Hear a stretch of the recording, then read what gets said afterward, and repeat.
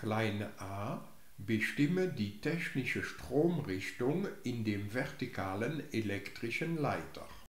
Klein b an welchem Punkt ist die Magnetfeldstärke größer, am Punkt P oder am Punkt Q? Begründe deine Antwort. In klein a setzen wir die Finger der rechten Hand so an, dass sie in diesem Orientierungssinn der magnetischen Feldlinien zeigen, also so. Dann zeigt der Daumen der rechten Hand in die technische Stromrichtung, was bedeutet, oben ist der Pluspol und unten der Minuspol. Die technische Stromrichtung ist also nach unten. In klein b nutzen wir die Formel von Biot-Savart.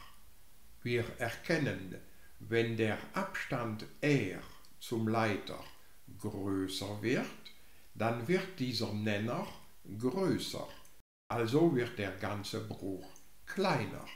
Daraus schließen wir, wenn der Abstand zum Leiter steigt, dann fällt die magnetische Feldstärke. Daraus wiederum schließen wir, dass die magnetische Feldstärke am Punkt P streng größer sein muss als die magnetische Feldstärke am Punkt Q, weil der Punkt Q weiter weg ist vom Leiter als dieser Punkt P. Und das ist auch schon die Endantwort auf klein b.